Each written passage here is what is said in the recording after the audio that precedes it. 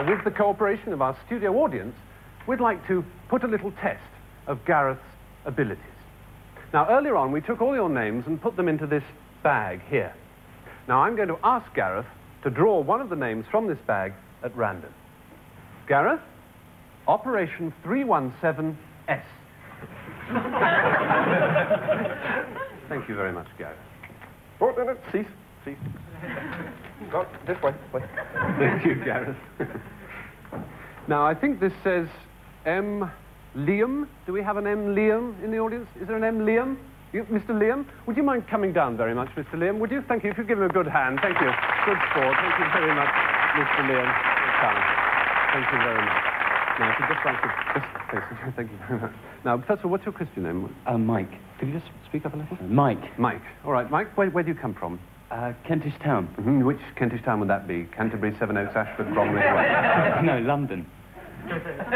no, no, no, we're in London. I asked you where you came from. Well, from London.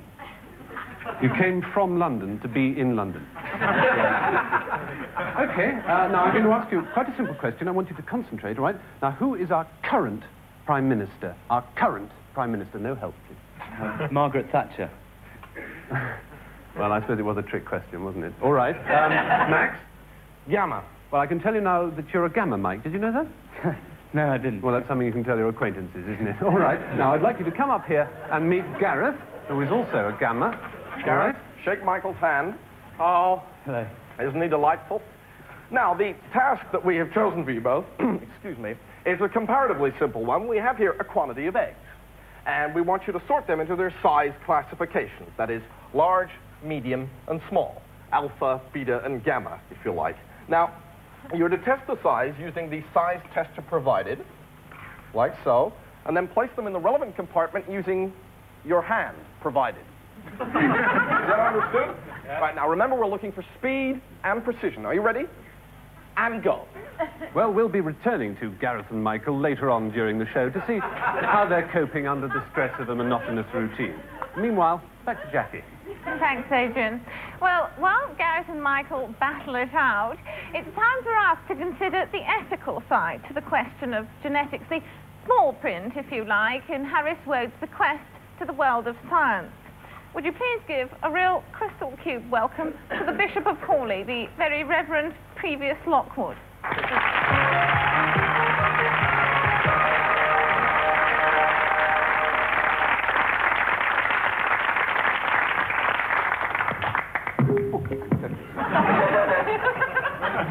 Good evening, Bishop.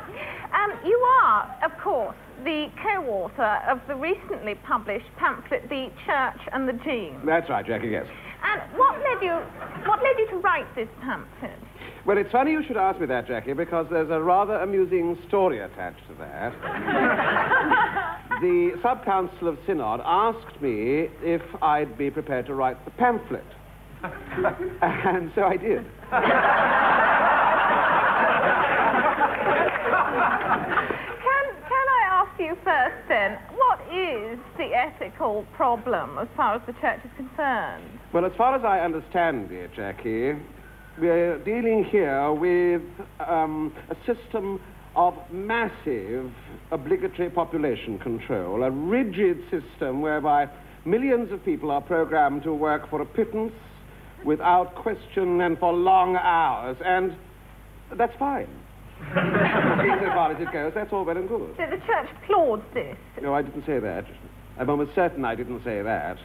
My wife is recording this program, and I would be most surprised to get home and find that I'd said that. Well, what then is the church's position?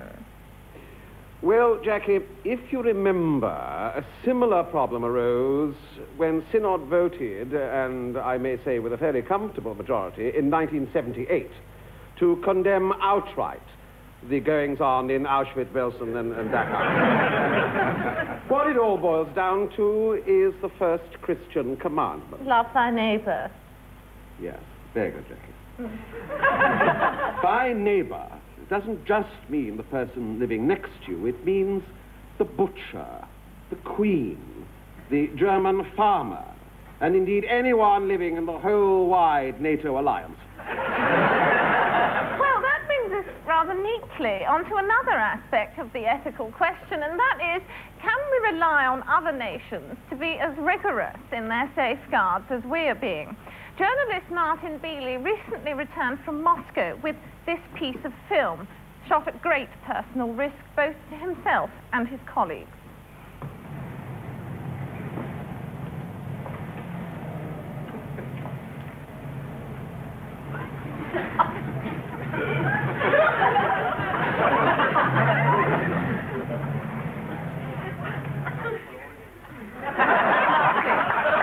Good evening. First of all, can I ask you how, how on earth did you manage to shoot that piece of film? Well, it was quite simple, really, Jackie. All we did was cut a hole in the bottom of a duffel bag, um, put the camera inside the bag, covered it with a travel rug, slung it between the, the front and the rear seats in the vehicle, and then slapped the whole shebang on a six-foot tungsten carbide uh, tripod just to keep it steady.